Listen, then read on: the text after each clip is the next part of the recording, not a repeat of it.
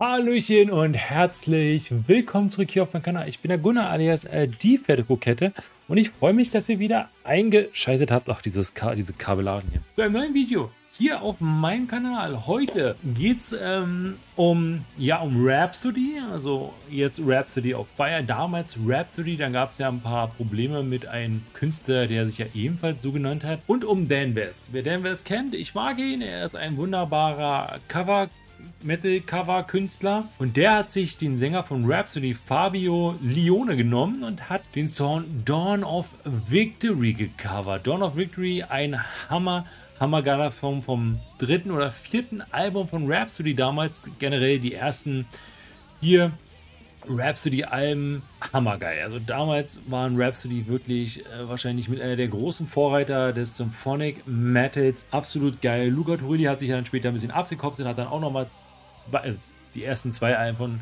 von Luca waren ja auch ein absoluter Brecher. Und deswegen freue ich mich, dass ich gesehen habe, dass Dawn of Victory gecovert wird. Ich mag den Dan West, der ist ein sehr talentierter Künstler und dass sich den Originalsänger, den Fabio, noch mit rangeholt hat. Ich glaube, das kann eine sehr, sehr geile Mischung werden. Ich bin sehr gespannt. Der Song geht fünf Minuten und ich, hab, ich möchte euch gar nicht so lange auf die Folter spannen. Deswegen springen wir direkt rein ins Video.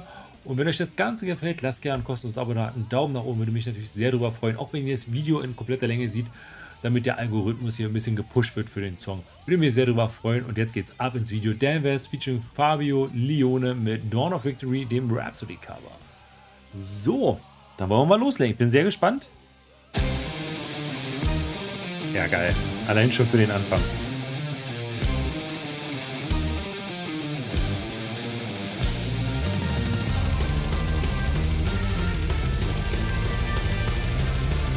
Oh, da hörst du schon dieses, diese epische raus. Also, das klingt bei Rhapsody persönlich besser auf dem Album. Aber ah, da kommen halt so die alten Vibes wieder hoch. Hammergeil.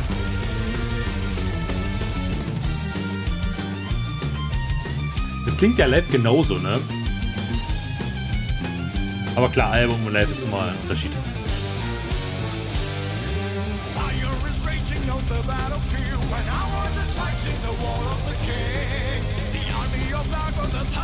Er ist auch so talentiert.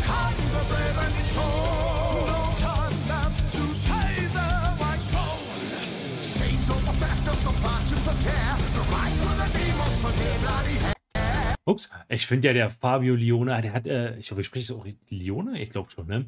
Der hat auch so eine geile Stimme, den würdest du immer und immer wieder erkennen. Und das fand ich immer so geil. Ich fand ja auch mal diese lock langen, lockigen Haare von ihm immer scharf, ne? Also, aber. Also dieses. Oh.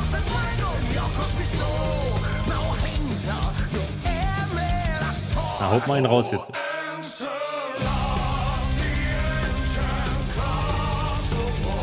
Das ist schon geil.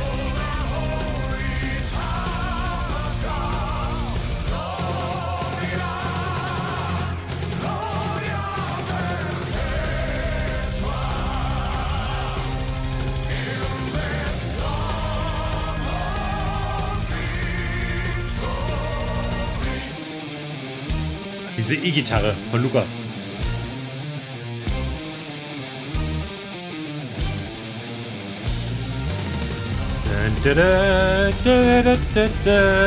Ja, geil.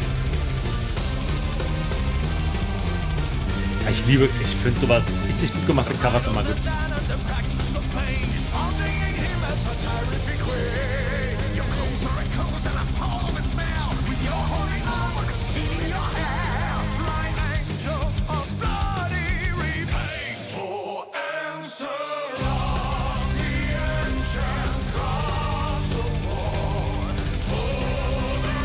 Rhapsody habe ich leider auch nie live gesehen. Was ich sehr schade finde.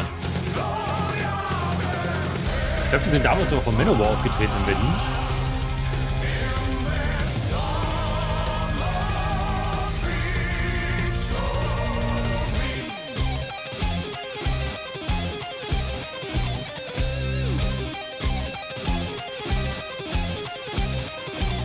Ich bin ich bewundere diese Musiker immer. Ganz ehrlich.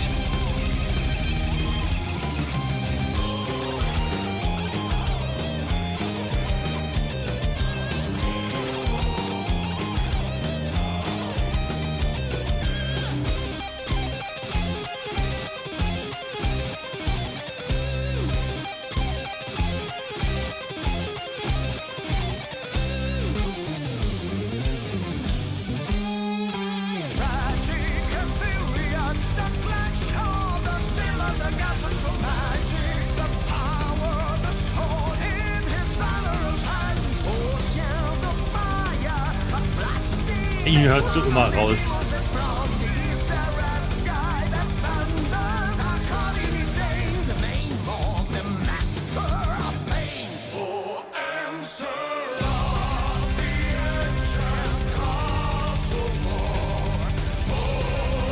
Ah, es macht einfach Spaß. Da kommt so richtig so die Anfänge von meiner Metal-Zeit hoch.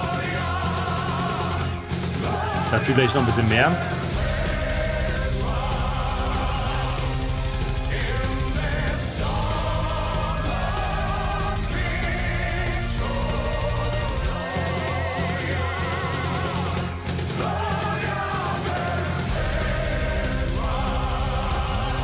Oh, der schwitzt aber ganz schön, der Junge.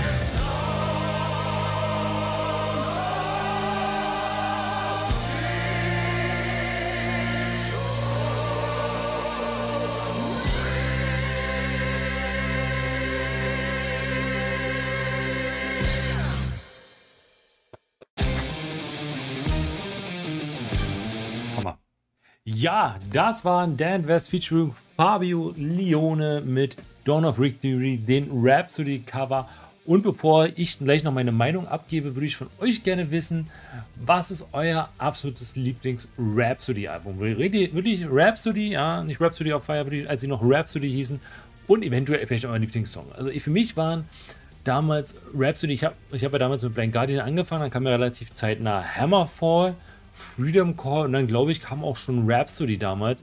Und Rhapsody waren so der Einstieg in den Symphonic Epic Metal oder damals auch Symphonic Epic Hollywood Metal. Da habe ich mir gedacht, warum Hollywood? Naja, weil es halt teilweise schon so eine Blockbuster-Atmosphäre hat. Und Rhapsody habe ich immer geliebt, als ja Rhapsody of Fire wurden und sowas. Naja, die ersten Alben waren halt, sind halt unerreichbar. Da muss man halt sagen, das war mit, für mich persönlich auch mit der absolute Höhepunkt von den Jungs. Aber nichtsdestotrotz hammer, hammer geil. Und ich finde, dass das, das, das hier, dieses Dawn of Victory, gerade, was wir gerade gehört haben, das lässt gerade nochmal so wirklich die Erinnerungen hochkommen, als ich angefangen habe mit was, 15 oder 16 Jahren Heavy Metal zu hören. Und das ist einfach, das ist einfach Kindheit, so Kindheitserinnerungen. Und Dan West lebt das Ganze nochmal, pusht das Ganze gerade nochmal ein bisschen hoch und dass der Originalsänger noch mit dabei ist, das ist natürlich wirklich geil. Der Dan West, der hat ja auch eine eigene Power Metal Band. Jetzt ist mir gerade der Name entfallen. Da hatten wir ja auch mal ein Video zu gemacht. Da waren ja, glaube ich, auch Dark Ziffler und der Felix mit am Start. Aber mir ist jetzt echt der Name entfallen. What happens? Aber der Song war wirklich toll. Ich muss natürlich sagen, dass Dan West, er macht seine Sache großartig. Er ist ein absolut toller Sänger, ein toller Performer, ein großartiger Musiker. Aber er kommt natürlich nicht an, an dieses an dieses besondere Etwas, was der Fabio hat. Ne? Der Fabio, der hat eine, der hat eine so geile Stimme und diese, diese Dynamik, dieses, äh, dieser, dieser Symphonic Metal von Rhapsody und der Gesang von Fabio, das war einfach so eine perfekte Mischung für mich damals. Nichtsdestotrotz ist das Cover großartig, es macht auf jeden Fall Spaß, es lässt so viele alte Erinnerungen hochkommen und das liebe ich absolut. Eure Meinung bitte in die Kommentare, ob ihr auch so begeistert seid oder sagt ihr euch, nee, ist mir absolut scheißegal. Würde mich natürlich mega interessieren und dann sehen wir uns beim nächsten Mal wieder. Macht's gut, bis dann. Ciao.